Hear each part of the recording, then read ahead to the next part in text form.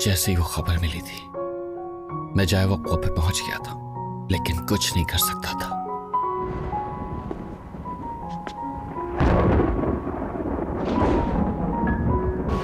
Mister Shane!